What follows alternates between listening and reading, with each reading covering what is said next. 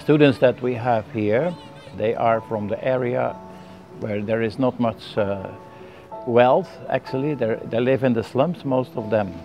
And they are not able to go to school because of the lack of money. We help them with sponsoring and we help them to study better and more as English and computer. We live from gifts from people that want to help us to reach out to these children. And so not always enough gifts come in, so sometimes it's difficult that we cannot pay. Children develop themselves much better in the future by learning here.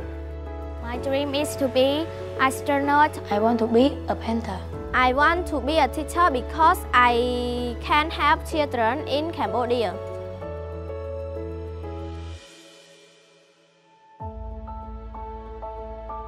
To be able to help these kids, it's way more beneficial for them, but also it gives you energy like you never have seen before. I said, let's do a fundraising and invest in components, a system that gives them monthly uh, benefits. So in this case, a PV system. And we were almost there. We uh, had a few more thousand dollars to go to get to the point where we needed the whole system to work.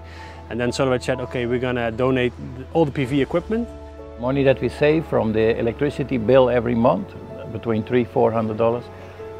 And this money we can use to, uh, to help the children in a better way.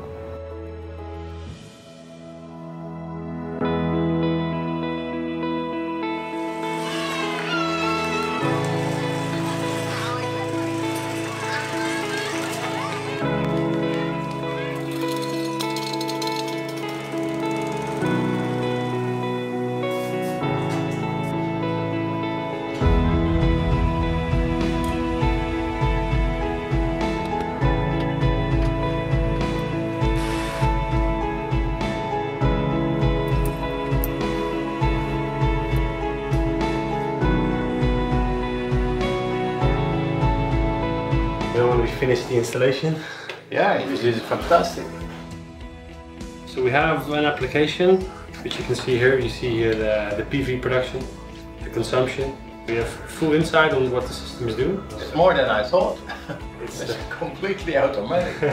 wow. After we finished this project, we just just got inspired, like change other people's lives. This school, as you see it back here, is going to educate kids and they will get out of that negative spiral and their family is going to have a future.